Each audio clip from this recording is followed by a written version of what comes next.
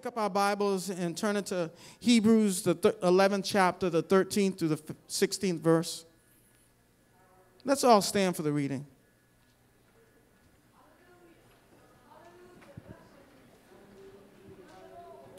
Thank you, Jesus. Thank you, Lord. Mm. Thank you, Jesus. Hallelujah. Thank you, Jesus. I'm trying to trying to collect myself because last time I was here, uh, God just changed things and went a whole different way, and it was different. It was different, but it was yet God's will and His and His desire for that time. And I feel something stirring here today, and I'm trying to stay according to the scripture and the topic that He gave me pre that I was I should say that I was researching earlier, but we'll see where we go.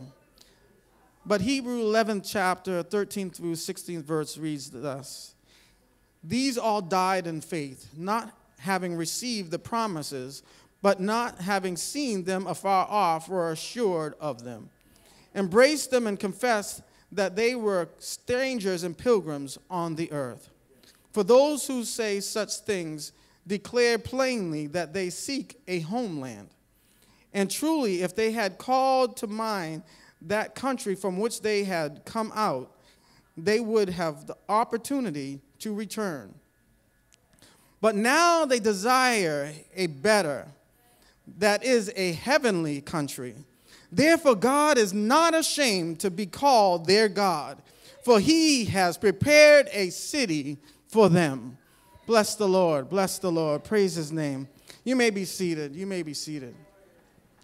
And as many of you know, the topic or the context of this right here um, is talking about the people of Israel. And by extension, us as Christians. And at this time, the Israelites, as all of us know, had been enslaved in Egypt for many, many years. They were there and because of because they had turned their back on God, God allowed them to be captured and enslaved with the E- Egyptians for, for, for a long time. But as they were there with the Egyptians in their hometown, in their home, away from where they were really from, they suffered much persecution. Much, much persecution. We all heard the stories about how they were beat and tormented on every hand, every single day, how they were slain and killed. We talked about, we know about how in the Bible it says that even at one point, the Egyptians got afraid of them, so they started to take their children and the firstborn of their males, and they began to slaughter them. And that's the type of environment that the, that the Israelites had to live in and that they had to thrive in. And again, when we look at the Israelites, it's always referring to us as Christians and the things that we go through as well. And God was just saying that that's us. That's what we go through. Some of us are going through some serious trials and tribulations right now in our lives. We have these things that we're, we're suffering through. But God was saying to me, as I was talking about the, I mean, researching this, that, you know, even though we go through these things and we feel that we're not going to make it, at the last hour, at the last minute, when we say, God, I need thee, He always shows up just in the nick of time just as we feel like we're going under for the last and final count, somehow he shows up just right on time. Just right on the time. And that's what happened with the, with the Israelites.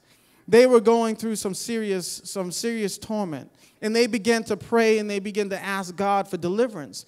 And for a long time, they felt as though nothing was happening, that the status quo continued to be the same. But eventually, God heard their prayer.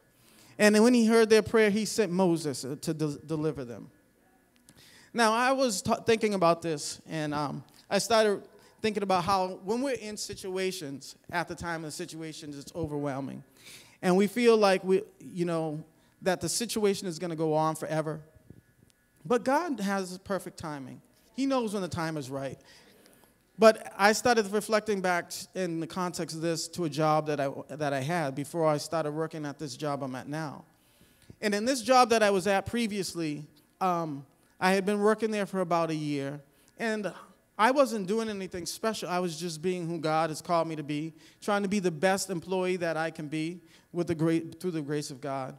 But because of my personality, because of my character, because of my work ethic, one of the managers there started to show favor towards me. And as he started to fa- show favor towards me, he started trying to bring me around where he would go. So whenever he would go to a meeting, he would just say, I, I want you to come with me. And then when he started to go, one time they went to this, this off-site meeting, and I got there, I was like, where are we going? He's like, don't worry about it, just come with me. We got to go to a meeting. So we traveled to this place, and we get there, it's all the executives in all the Northeast are there. All the vice presidents, all the some executives, and I'm like, what in the world am I doing here? I was like, I do not fit in in this place right here. And they were doing all kinds of exercises because they were trying to figure out where the company needed to go next.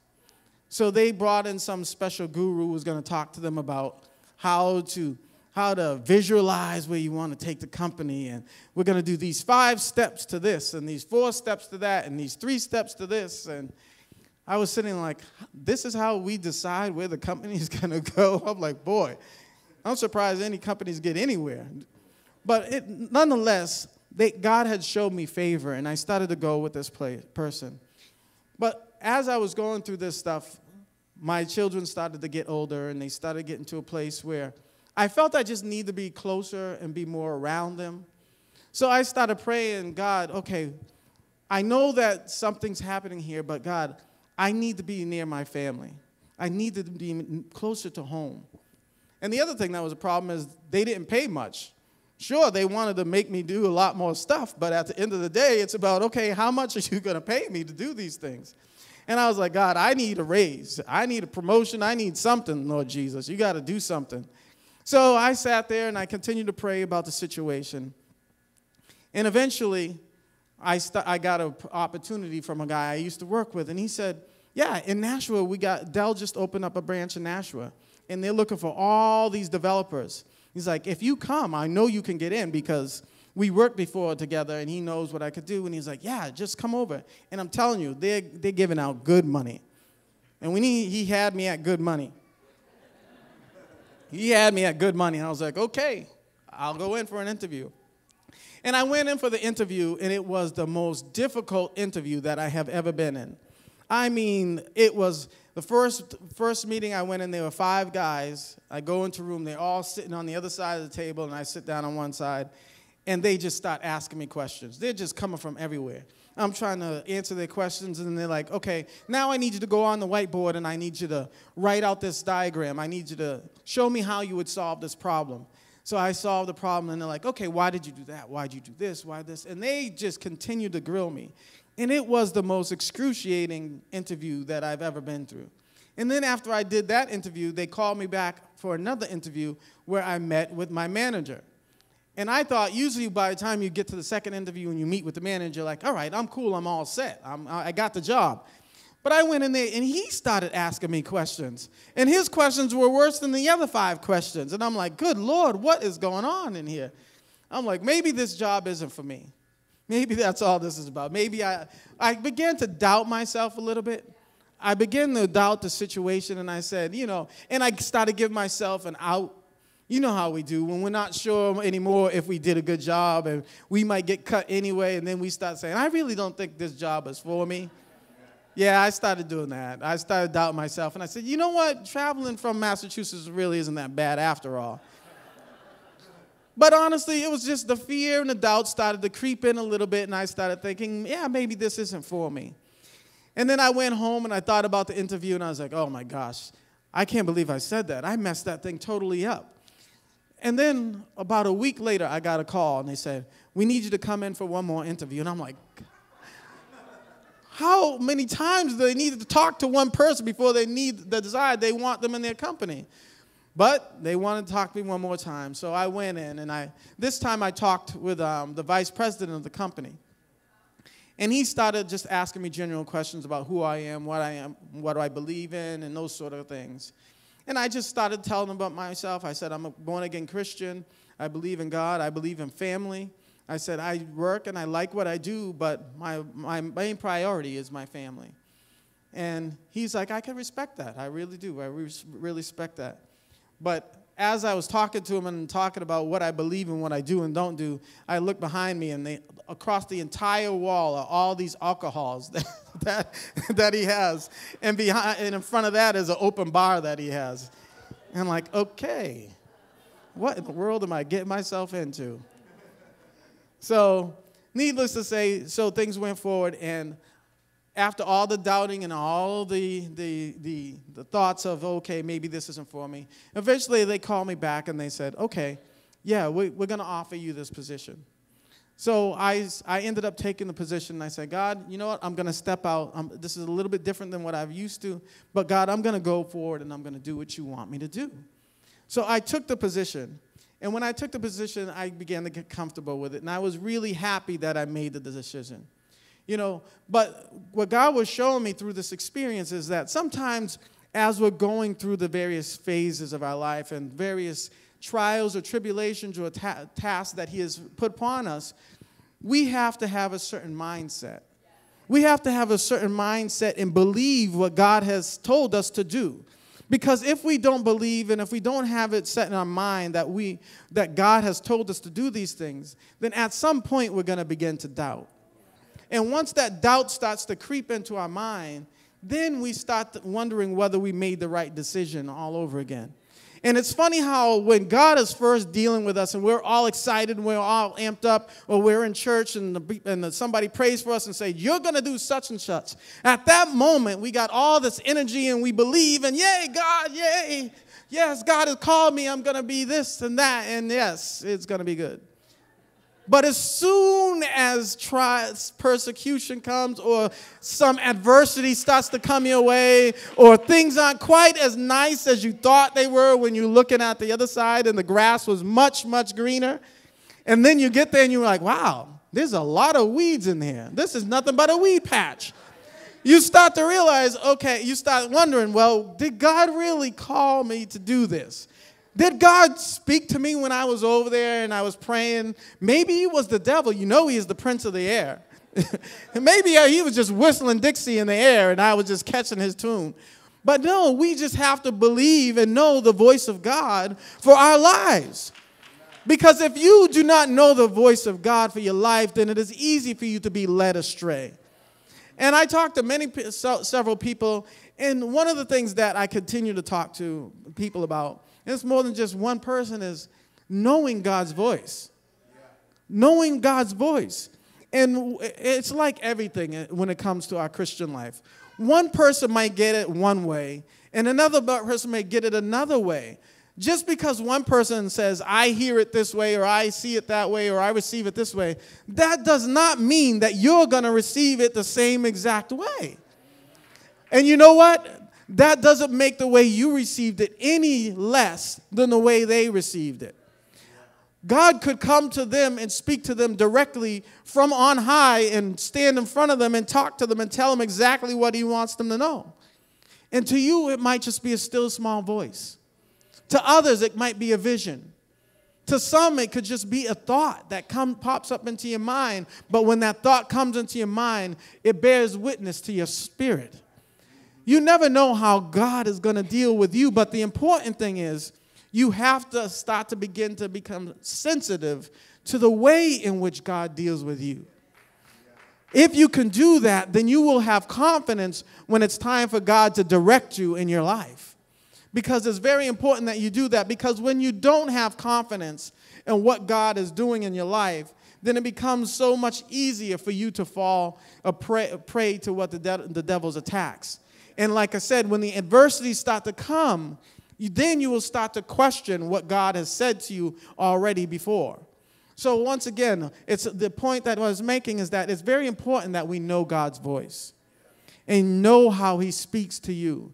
And when he speaks to you, you have to grab hold to that and you have to hold on to it with the utmost confidence and security that what God said he's going to do, he will do for you. So, one of the things that I want when I was talking about the message, and I was like, God, okay, how do you want me to explain this to the people? And what he what was coming for, what he showed me is that once we start a process and God moves us from point A to B, we go through that trial, we become successful. We go through the next trial, we become successful. We go through the next trial and we become successful. He was saying, some point you're going to face, face adversity. But when you face that adversity, how are you going to handle it? How are you going to how are you going to overcome that thing? So God was showing me this this example. So let me let me get myself uh, let me get myself someone to help me illustrate this. Okay, when we're dealing with something and we're we're at a crossroads in our lives, or, and we have to make a decision. The question is this: I'm facing this way. I've already come from there. Do I go forward, or do I go backwards? You have to. You're going to be in that position. Some at some point in your life, you're going to be in that position. But the thing that you can't do is you can't look back. You can't look back. You've already been through that. You don't need to look back again. You need to stay looking forward. So let me, um, okay, let me have Justin come forward. My nephew, he has to come forward, so I call. okay, so we're walking this way, right? And he's here, he's going through all these trials, he's through all these tribulations, and he's facing this way. Okay, if I tell him, okay, you're at this point and you have to decide whether you're going to go back or you're going to go forward. And you decide you're going to, and you're not sure what you're going to do when you, and I say, okay, go backwards. Go back where you came from. What do you do? Go back to your seat. Stop. What did he have to do before he could go back? That's exactly right. Go back. You can, thank you, thank you. Thank you. Before you can go backwards, you have to turn around and look at where you came from. You have to turn and look where you are, what you come through. You have to say in your mind, okay, I'm here and I'm going forward and I think I can make it. But when the doubt comes in and the adversities hit you, you start wondering. And at that time, that's when we start to look back. That's when we start to turn back and look at those things that we were in before. And we start to have doubt and we start to look at those things that were. And all of a sudden, those things start looking pretty good to us we start looking back at the old things that we used to do and we start saying, well, hey, that was kind of fun. You know, it wasn't so bad. And maybe, you know, maybe if I just go back, I'll be all right. I don't want to deal with that. And we start looking at that and we say, okay, I'm going to go back here. But the Lord said that God was telling me that we can't turn around and look back. We can't look back. We've already done that and He's already delivered us from that. So we can't look back there anymore. We have to go move forward, keep moving forward. And I was saying, Lord, that's true. That's true. A lot of times we have such revisionist history. We've gone through that situation, or maybe we've gone from that place, even me and my job, when I started looking back at that job, as I started to go, even in, recently in the current job I'm at, things started getting a little bit hectic. The company got bought by another company, and the environment changed. They started say they were going to have layoffs, but what they said decided to do instead is they said, "Okay, we're going to allow people to opt out, and we'll give them a package." So they expected a few people to leave and take the package. A third of the company accepted the package and left. And I'm not talking about the everyday guys. I'm talking about all the a lot of the executives took the package and left the company. And we were all looking around because now all the managers are gone, and we're looking around saying, oh my gosh, who's going to steer the ship? and now we're all looking at each other like, I'm not doing it. And I, at that point, when I looked around and everybody's saying, I don't know how to do this, I'm like, uh oh, I better refresh my resume because I don't think I want to be here anymore. And as that happened, I started thinking about it and I was like, man, if I had stayed in that other company, man, I'd probably be a principal engineer right now and I'd probably getting nice bonuses and perks and stuff like that. But again, that's what the fear started coming in again in my own personal life. And I started looking back at where I was and starting misremembering actually how things were when I was in that situation. And I forget that when I was in that situation, I was starting to get miserable and I started complaining and I was saying, God, get me out of here. But now that I'm in another situation and it's starting to get a little tough, now I'm saying, well, I think I want to go back to that one. And God said, no, I've already delivered you from there. Why would you go back? You've already stay, fought your way through there. Don't now go back there and start all over again. This isn't the game of sorry where they hit you and they slide you all the way back to the beginning again and you got to work your way back. This is not how God works. He delivers us for a reason. He delivered you for a reason. We fought, we cried, we, slob, we, we, we, we slobbered, we, we did all these things to get through the situation, and now we are free. He said, You are free, you're free indeed. If you're free indeed, then why is there a need to go back there once again? It's time to keep looking forward. It's time to look forward and don't go back to where we were at. And what God was showing to me that what tends to happen when we start to look back is that looking back is not always a bad thing. But he said that there's three reasons for which we should be looking back. There are three reasons for which we should be looking back. The first reason that we, we might look back is because,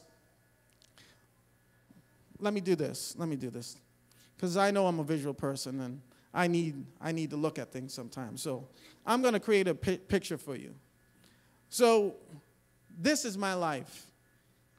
This is the trial when my son fell down the stairs when he was an infant and he hit his head on the concrete and his eyes rolled in the back of his head and we had to rush him to the emergency room we weren't sure if he was going to survive this is when i was having trouble in my marriage and i was saying god is this for me? Is this the right thing? Did you call me to do this? Is this the right person? And this all those same ifs ifs ifs ifs ifs. And now we have doubts. This is when my daughter got her driver's license a couple, about a month ago.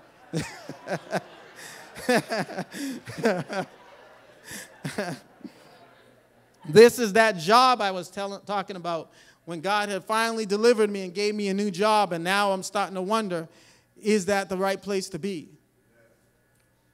And this is me today, standing at the precipice of another decision. Now I'm standing right here at the precipice of this decision and wondering whether I, what I should do. But God was saying that there's a couple reasons that we should be looking back. Not all of them are bad. But it's all about the perspective in which you're looking back on those tasks that you came through, on those trials that you came back from. Now, there's times when I look back in this thing and I'm saying, I'm feeling a little bit depressed, I'm feeling a little bit weak, or I, I feel like I might not be able to make it. And Lord, I don't know if I can go through this any longer. And you say, He says, look back over here at this step right here. Remember when you were saying, God, I can't make it, and you came to the altar and you cried and you said, God, I don't think I'm going to make it. And He said, You can make it because you're strong enough. And when you're looking at your child and how they've grown up and they're nice and tall and big and strong and they got all the faculties of their mind, and you're saying, God, you did that. Or when you're looking back at your marriage and everything is wonderful and you feel good and you feel confident and you're feeling like you're on top of the world, and God said, yes, I did that. And you look back at the starting point, and when you were there and you said, God, I don't think I'm going to make it. And you look back, and God says, Now look where you are now. Look where I have brought you from. And you stand right here, and then you say, let me give myself another accomplishment. And you lay it down and you say, Now I'm here today. This is where I am today. And God said, in that case, okay, look back. Okay, it's all right for you to look back. You're not looking back with a mind of woe is me, but you're looking back so that you could say, Yeah, God showed me how to get through. God provided me with the strength that I needed to get through. And in that case, God said, Yes, go ahead and look back. Okay, so we got one case in which we can look back. And God said, Okay, it's okay for you to look back and draw strength from your prior experiences. He said, That's a good thing. That's a good thing. And I said, Okay, God, that's, that's, that's good. Thank you for showing me that.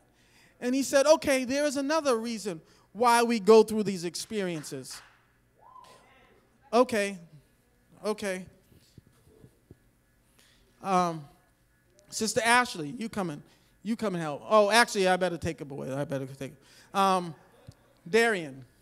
Look at that. He's like, oh no. I'm going to take Brother Darian. Yeah, I was looking at all of you. Okay. So this is his life. Okay. And he's laying down these monuments from where he came from. And God is delivering him through certain things in his life. And he's walking along his path. And he's getting here and he's getting, becoming victorious and he's getting to these new steps. And he gets to this point, and God will show me these are him, this is him coming through his trials and his term and his tribulations. And he's in a different place altogether. But every time he gets through one of these, he gets a little bit more confidence. But sometimes we come to a point in our lives where we hit something that we don't quite understand. And maybe at this point in his life, he's here because he just got married and he's having difficult times in his relationship. And he's standing here saying, How can I make it through? I don't think I can make it through, God. I'm not going to make it. I'm about to give up. God, what do I do? How do I do it? And God is saying, Don't worry, you're not alone.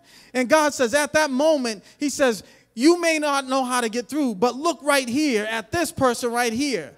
He's already gone through it before. He's already got his testimony. He's already laid down the tracks for you to go through. And all you have to do to make it to, to your next step is you just need to get here. And what do you have to do to get from there to there? What would you do if you want to get here? Now, well, what you want, what I'm going to tell you what you need to do. What you need to do is to get from here to here. You can't just walk. You got to jump. You got to leap. There you go. That's what you got to do. And you know what he just did? He took a leap of faith right there. He just took a leap of faith in his life. And because he trusted in God and took that leap of faith, he has now has direction for his life. He saw in his mind that other person that has gone through what he went through. And he looked and he said, God, if they can make it, I can make it.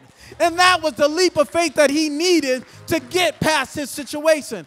And now he is now past where he once was. So God was saying those tribulations that we go through, and as we go through, it may seem like there's no reason, God, that I needed to go through that. God says it's not just about you. It's not always about you. Stop being so selfish. Sometimes you got to go through so that the next person has a way to get through. Sometimes we have to suffer so that we could drag the next person along. And God said, and once that happens, we have to take the leap of faith. When you don't know what's the next thing to do, you got to look to those that have been there and have gone there and have been through it. And then you have to say, God, if they can do it, I can do it. And then you take that leap of faith. Thank you, Darian. Thank you. Amen. Amen.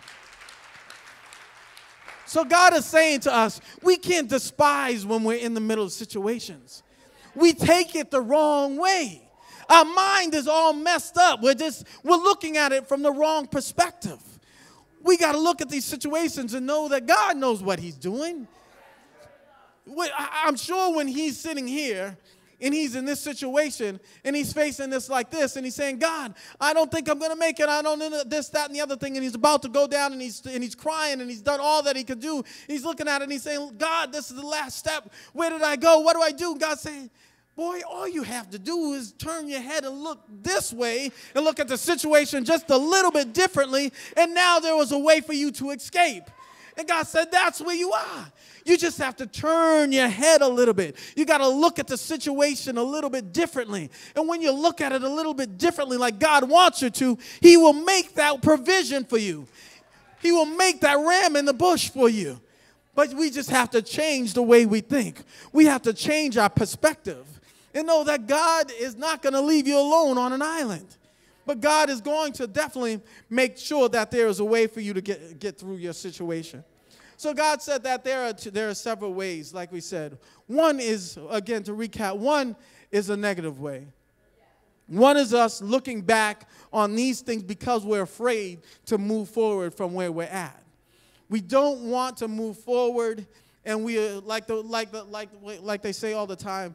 The, we're more comfortable with the devil we know versus the devil we don't know. And that's what happens. A lot of us remember back to this time and they're saying, well, when I was at that job, you know, yeah, you know, I was getting, I could get raises and I could get bonuses and I could get promotions and blah, blah, blah, and things are going, but we forget about all the negative things that happen.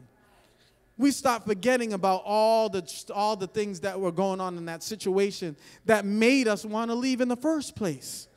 It's like the Israelites, right?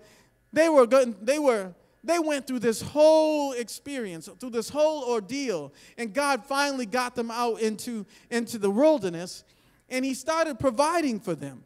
He provided a cloud by day to keep them out of the heat uh, of the sun. Then He provided them with a pillar of fire. I mean, a pillar of fire? Come on, who does that? So that they could be warm. I mean, what kind of. Now, that's a God that He cares about you that much, that He's going to follow around you with a pillar of fire. I mean, that's the type of God that provides for us in the midst of our situations. Now, this was not the place where they were supposed meant to stay. They were never supposed to stay in the wilderness. God had made a promise to them. He had created a, a, a, land for them to go that he said was filled with milk and honey. And that's where they were supposed to go. But they got in the middle of the, of the wilderness and they began to complain about the situation and where they were and what they were going through. They started worrying about what's going to happen next, and they started to doubt whether God was still leading them in the right place. But God was saying, you know, in the situation, when you're in your situation, again, you have to have the right mindset. You got to realize that as you're sitting here in this situation, and He's already promised to get you there, that you can't give up in this place. You have to continue to have faith in the word that he gave you earlier, like we talked about. You have to remember when he spoke to you and told you to take this path. And when you remember that he's done that, then we can continue to strive forward past those situations, and those circumstances. So as the Israelites started to go through, they finally made it to the, to the promised land that was there for them. And they were sitting there on the precipice of their, of their, of their promise. And a lot of us are in that situation or come to that situation where we've made it out and we're right at the point where we're ready to receive that victory. But at that point, the devil's not going to make it easy. And nor does God want it to be easy. Because if everything came easy, then we wouldn't know how to appreciate anything. We just take it for granted. But as they're sitting there, and the Egyptian, I mean, the, and the Israelites are sitting there, and they're sitting there, and they're, they're looking at the promised land, and they could see all the benefits that are there. They could see that God has not lied to them, but yet He really has prepared a place for them to be. But yet they look back at this at this situation and say, "Okay, what do we have to do to get in there? What's going to be the cost? Because there's always a cost. You got to do something to get from here to there." And God was, uh, and as they came and they sent the people, the spies in, and they came for the reports, and they came back, and some of the spies said, Nope, we can't go there. They got giants, the big giants, they're scary giants, and I think we'd be better off going back into the wilderness. And whose report did they believe? They didn't re- believe the two that said, no, I think we can go in and we can possess this land. I think we can I think we can win this land. I think we can win this battle. And you know what these guys didn't do? At this point, they didn't look back at these things that God had brought them from. They forgot about the fact that God had brought them through the, the Red Sea and collapsed the seas upon Pharaoh's men. They forgot about the fact that they were given manna from heaven. They forgot about the fact that they were being fed, given water from a rock. They forgot about all these different things that God had done to, from, to get them from there to there. And all of a sudden they think that they get here and it's going to be easy. It's not going to be easy. You're right at the point where you're going to get your victory. That's where things are the hardest. That's when you struggle the most. But you got to stand still and you got to say, God, I know that you have done this for me in the past, and I know that you will do it for me again. And that's when you have to say, God, I'm going to stand on what you've done for me. And you got to draw on those experiences and use that to propel you forward. And what they did is they decided not to do that. They decided not to do that. And next thing you know, they found themselves going backwards. Brother, you got to help me out here, man. there you go. That's what I need right there. But God has blessed them and brought them to the promise. They are sitting at the precipice of their own land. They've been sitting out in somebody else's land for a long time. They've been pilgrims and strangers in a land for a long time. They've been tormented, persecuted, and reviled for a long time. And here they are, sitting there looking what God promised them, and they decide that they want to go back. How many of you are looking at that situation and ready to go back now? God is saying, don't do it. Don't do it. Don't believe the report of the negative people around you. Don't believe the report that the enemy is trying to put in your head. Don't believe that, but believe these things that you have gone through, these trials that you have gone through, these testimonies that you have. You have to draw on them and use those. He said, That's what you need to do. That's what we all need to do. And I said, God, yes, I understand. That's what I need to do. I need to draw upon that. And God said, You know what happened? The Israelites ended up going, we all know the story. They chose not to go in, and they said, We're going to go back. We're going to go back and uh, to where we came from. They went from, from the final point back to the back into the middle of what they were at, and they said, "We'll just live here. We're cool with it." And God said, "That was not what I intended you. That is not what I intended for you. I had better for you. I had better expectations for you. I had a better place for you to be." And they gave up on the promise of God. And you know, a lot of other gods, lowercase g gods, might have let that be the end of the story. But you know what? Even though that they didn't get a place to go into that promise, even when you go back and you may have been in a situation and you might not have passed that test and you might be back here, God doesn't give up on us. God doesn't just turn his back on us and give up on us at that time. He could have just cut off the Israelites and said, That's it, you're done. I'll find me a new people. He said, You're done, you're cut off. But no, that's not what God did. You know what God did? He allowed them to stay in where they were. But he still went away and created a place that they would have to live in eternity where they no longer had to be pilgrims anymore. But he provided a place that was made of milk and honey, and the streets are made of gold, and said that if you still live the life that I, I asked you to live, then you will be successful and you will have a home in the sky when the time comes. So, no matter what you go through, God still makes a way for you to escape. God always has a plan. God always has a plan. And you know what else about that happens sometimes when you're going through these situations?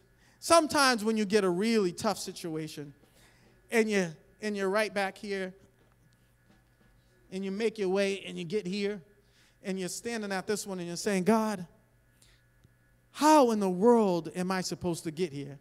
How do I get over to that one right there? And God said, You know what? You have to change your perspective. At this point, you're, you're, you're weak. You don't have the confidence. You don't really feel like you can make it. Even though He's done a lot for you, you don't th- think you can make it. And God said, Go back. Look at those memorials that you built. And God said, Go back to this one and look what you were in. And go back to this one and look what you were at. And draw strength from these places. And then when you get from here and you got that strength, you can make a run and jump and you can make your way to where you are today. And God said, that's what we need to do. We need to get a running start sometimes because we got situations in our life that are not so simple. God said we have to draw from our previous experiences and we got to use them to propel us forward. And once we do that, we can make that leap once again of faith in our lives. In our lives.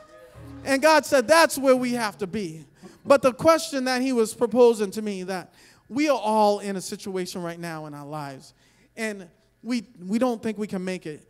And what God, what happened to me in my situation when I was telling you about that job, is that I went through all that and things weren't great at my job, and I wanted to give up. And I started reminiscing about the old job and what it was doing.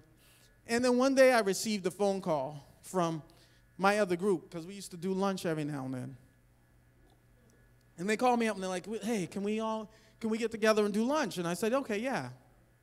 So I get together and I go to the to the to the place with the group, and I get there and I was like, "Hey, how's everybody doing?" I thought it was just a normal get together, and then all of a sudden I said, "What's up?" And they got, "Well, we just wanted to find out if you guys had any job openings over at your new place," and I was like, "What in the world?"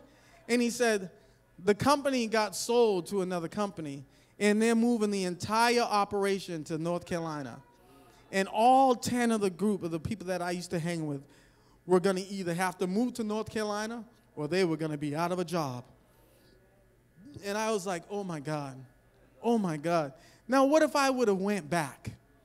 What if I would have given up when I was standing on the job I'm at now and went back there because I felt comfortable back there? If I had given, back, given up at that point, I would be without a job. I'd be right back out there looking to find another job. But I stayed where I was. I stayed where I was, and I forgot something that I was supposed to bring with me today. And what it was is the mail came in the other, just yesterday, and the kids brought something into me, and they're like, "Oh, this is for you." And I was like, "What is this?" And I opened it up and I looked at it, and it was a, and it was like this this clear crystal plaque, and it said five year anniversary at Dell. And I said, and they were like, congratulations. And I was like, wow, praise God. Praise God, I stuck it out. And now I have literally, I have my plaque. I have my memorial to tell me, you stayed through. You stayed through the situation and you've been blessed. And now you're sitting here and now you have your victory. And God has blessed me physically with, with this thing. And I'm going to hang that up as, the, as my testimony of how God allowed me to stay the course.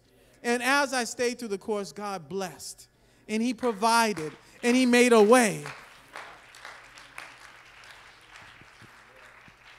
So when I was, what, what God was just wanting me to continue to impress upon each and every one of us is that even though we're in the situation, and even though it seems like there's no way out or there's no escape, you got to realize if you are all the way out here, sitting at this point here, you got to look back and say, God, I've come through way too much to go back right now. God, you delivered me through way too many things for me to give up and turn tail and run. We got to make up in our mind that we're going to stand through this thing. We got to mean it when we say, For God I live and for God I die. We got to mean it when we say that, God, I believe in what you have told me. We got to believe it when we say we believe in the promises of God. Because if we believe in the promises of God, then we won't turn. We will stay put and we will stay faithful to His word. Amen, amen, amen. Amen. Praise God. Praise God. Praise God. Praise God. Hallelujah. Praise God. Hallelujah. Praise God. Praise God. Hallelujah. Don't give up. Don't give in and don't surrender. Because if you just hold on just a little while longer, God is going to show up and He's going to show out like He always does. Because God is not a God that He should lie. And God does not like to fail. In fact, He doesn't fail. So you can give up on that. He will make sure that you will be successful. But all you have to do is do your part. And all your part is, is to stand strong and see the salvation of the Lord. So I'm telling you right now, if you're in that situation in your life, if you're in that place, and even if you feel like you're all alone, know that you're not. God is right there beside you. In most cases, He's not beside you, He's standing there holding you up in His arms, saying, Don't worry, we can make it. I know you feel like you're making this jump right here, but in reality, you have nothing to do with that jump. That is all God, all God, every day, every day. And all we have to do is just trust. All we have to do is trust and believe. Trust and believe.